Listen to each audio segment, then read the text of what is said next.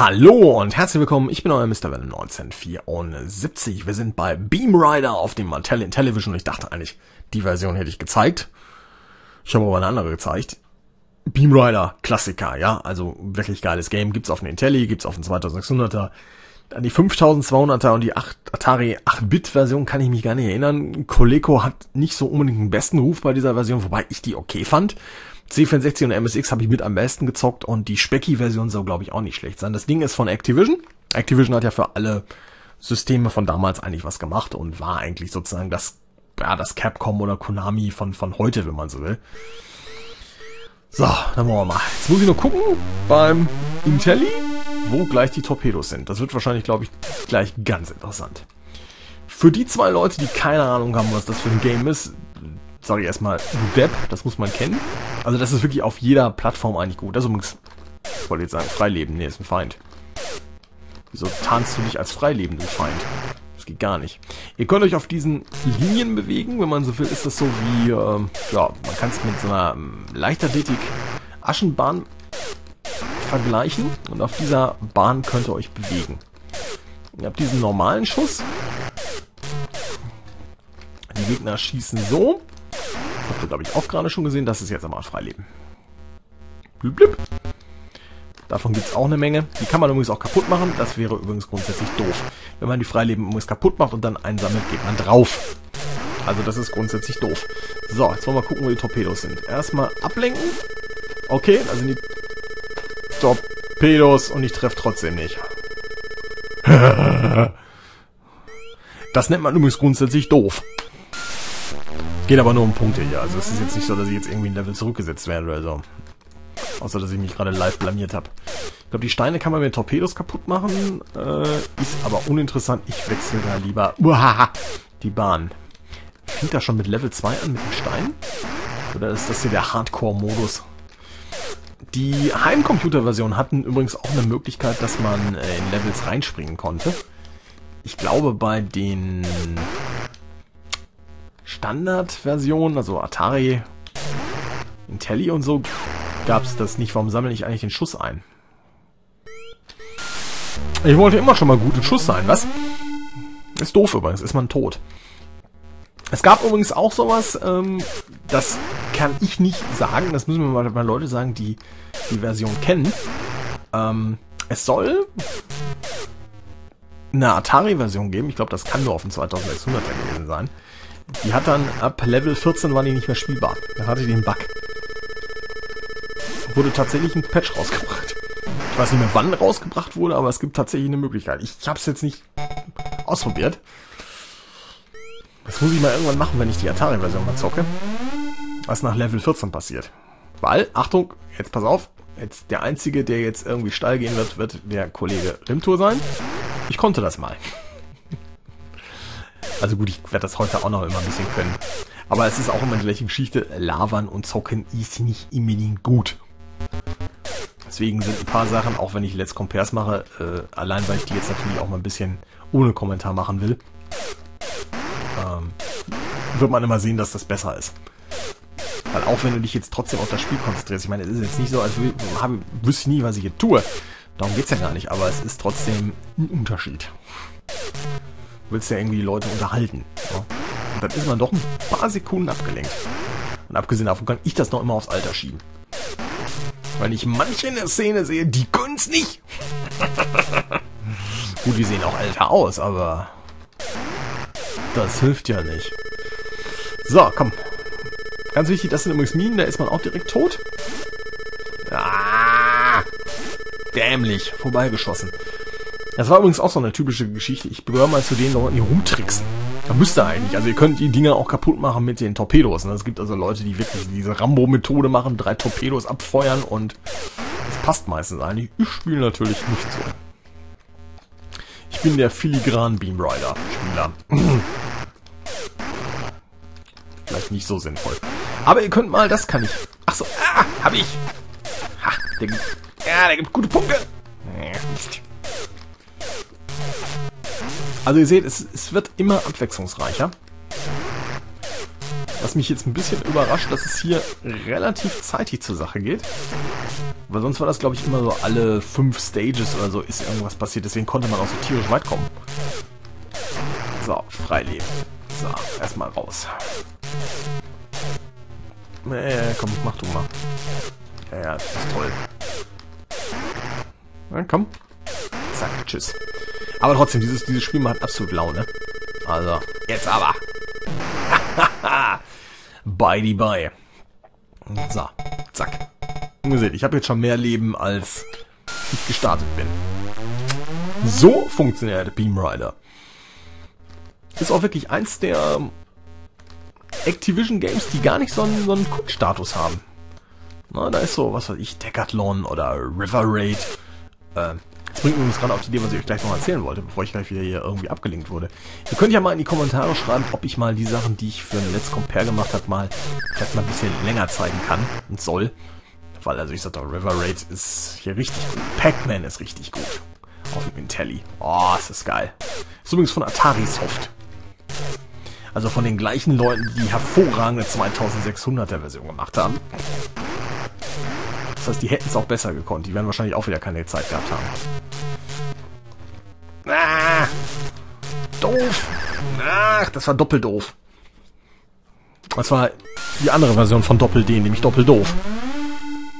Ich weiß, jetzt schreibt irgendein Doppel-D. Äh, Hilfe. Ja.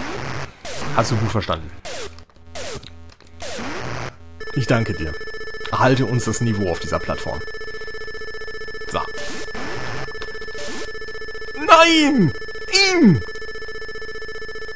Warum rotze ich nicht mal die drei Torpedos raus? Hab doch genug davon. Kann ich ja nicht mitnehmen. Hey, ich will mit dem Torpedo beerdigt werden. Hm. Gut, ich meine, bei der Bundeswehr jetzt im aktuell kein Problem, die gehen ja eh nicht los, aber... Ah. Nein! Warum hau ich denn... Das war zum Beispiel richtig bescheuert. Den hätte ich ohne Probleme haben können. Die schießen kaputt.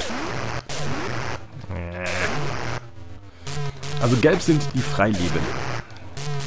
Ich weiß nicht, ob es nachher noch irgendwie Fake-Freileben gibt, das weiß ich gar nicht. Aber da kommt auf jeden Fall noch was. So, den immer abschießen, der gibt gut Pönches. Und ganz wichtig, was ihr darauf verachten müsst, nicht hektisch nach links. Einfach mal gucken. Wie in der Verkehrsschule. Und ich meine jetzt wirklich die mit dem Straßenverkehr.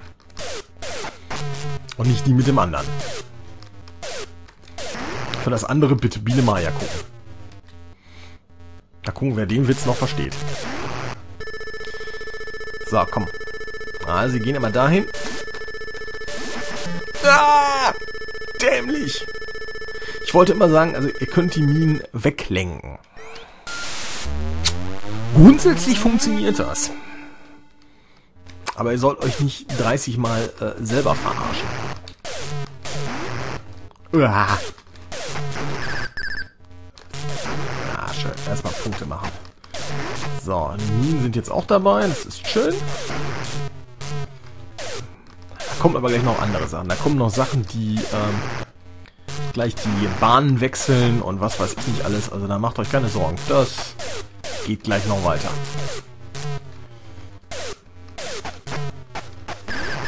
Na komm. Das gibt schön Punkte. Weil die 10.000 will ich ja wohl doch noch erreichen. Ne? Das haben wir ja auch einen gewissen, gewissen Anspruch. So, jetzt sind es nur noch 200, das sollen wir wohl schaffen. Uah. Uah. Na komm. Komm, mein Freund. Also ihr könnt gerne mal, ne, für die Leute, die mal gerne auf Challenges und Community und was weiß ich nicht setzen. Den haben wir. Wie heißt es schön, da war die Deckung aber mal richtig katastrophal. Ja, die war gerade irgendwo beim Mittag oder so. Aber das konnte man sehen, wo der Loch ist. Wo der Loch ist. Mhm. Startseite. Ist übrigens der falsche Artikel. Habe ich übrigens auch so einen Fehler mal gehabt, ne? Irgendwo, weiß nicht, irgendwie äh, der, die das oder so verwechselt. Hatte das Ding gleich sofort mehr Aufrufe. Da dachte ich mir, hä? Was? Und nicht, nicht wie schon halt irgendwie Daumen nach unten oder so, wie man da sonst irgendwie kriegt. Ne, wir haben einen Fehler gefunden. Du bist voll doof. Nee, äh, es hat funktioniert. Also deswegen, YouTube ist... Ach, der ist das. Ja, den kann man, glaube ich, auch mit dem Torpedo platt machen. Ah, komm. Stell dich. Ich krieg die schon. Ihr könnt natürlich die Gegner auch mit Torpedos erledigen, wobei das wirklich dann Perlen vor die Säue ist. Ja, komm, mach du mal. Da war ich zu weit links. Das kennen viele aus der Politik. Aber wenn man zu weit links ist, kann man schon wieder rechts überholen. So, damit habe ich mein politisches Kabarett für den heutigen Tag auch abgedeckt. Jetzt aber! So. Da habe ich jetzt einfach mal riskiert. Und es gibt Leute, die wirklich die ganze Zeit nur mit Torpedos rumrotzen, wie sonst was. Aber ich denke mir, nein, Frieden schaffen ohne Waffen. Aber trotzdem, also dieses Spiel ist auch so... Nein! Nein! Wow! Das war Skill. Okay, anderen ins Glück, aber... Das ist echt wirklich ein Ding, das macht Laune. Also... Da kann ich echt nur empfehlen, auch noch, noch ein Freileben. Ja, jetzt ist aber hier Weihnachten, oder was? Haha. so, jetzt sind wir noch wieder im Spiel. Schön.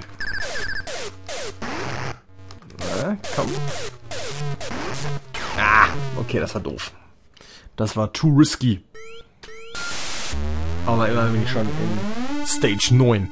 Ich glaube beim letzten Mal, ich weiß nicht mehr, welches System ich da gemacht habe, aber ich glaube, ich war auch tierisch weit.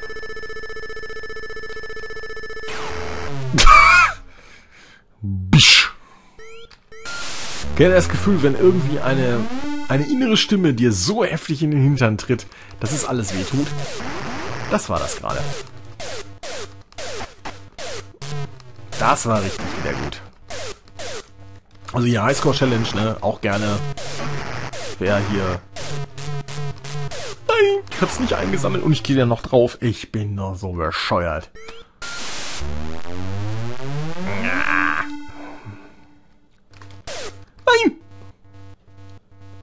Das hört sich immer, wenn ich das so sage, hört sich das an, denke ich...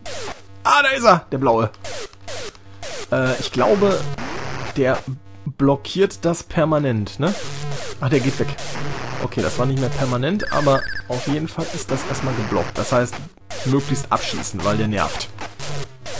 Weil er blockiert euch dann auf jeden Fall. Wobei der hier gar nicht so wahnsinnig gefährlich ist, weil der schnell wieder weg ist. Ich weiß aber nicht, ob sich das... Uah, uah, meine Güte. Meine Güte, da ist ja, ist ja Herzinfarkt-Gefahr. Oh, danke. So. Bisch. Ah. Schreiben Sie jetzt in die Kommentare, wie man diese Aktion nennt.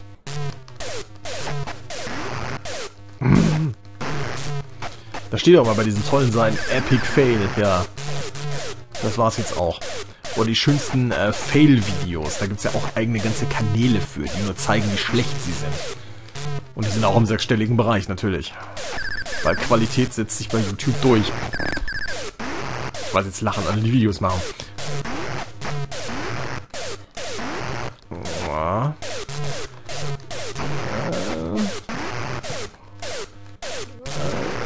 das ist vielleicht gar nicht. Freileben! Danke. So. Jetzt! Yes! Yes! Das war keine schlechte Runde. Sektor 11 war okay. Mal gucken, was uns Sektor 12 bringt. So. Zack. Ah. Erstmal gehen wir tot. Was grundsätzlich doof ist, um das nochmal äh, kurz zu rekapitulieren. Was bist du denn? Achso, das ist, glaube ich, der, der in letzter Sekunde die Bahn wechselt. Jetzt wird mir das aber ein bisschen hier zu unübersichtlich, wenn ich ehrlich bin. Vor Freileben. brauche Freileben. I need free lives. Also nicht äh, free life.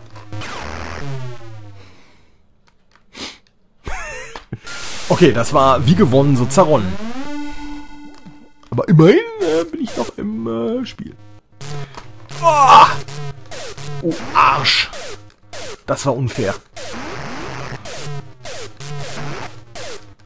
hätte das Freileben haben müssen. Ja, das war's. Na egal. 19.280 hier beim Beamrider auf dem Antennen Television. Geiles, geiles Game. Holen. Also überhaupt keine Diskussion. Das Ding müsst ihr in eurer Sammlung haben. Egal welches System. Geile, geile Scheiße. Ich bin euer Mr. Venom 1974. Wenn ihr Spaß hattet, abonnieren, kommentieren, bewerten und wir sehen uns dann bald wieder. Und wer will, kann wieder raten, was ich als nächstes aufnehme. Ich bleibe beim Interlied, das sage ich schon mal. Bis dann, tschüss.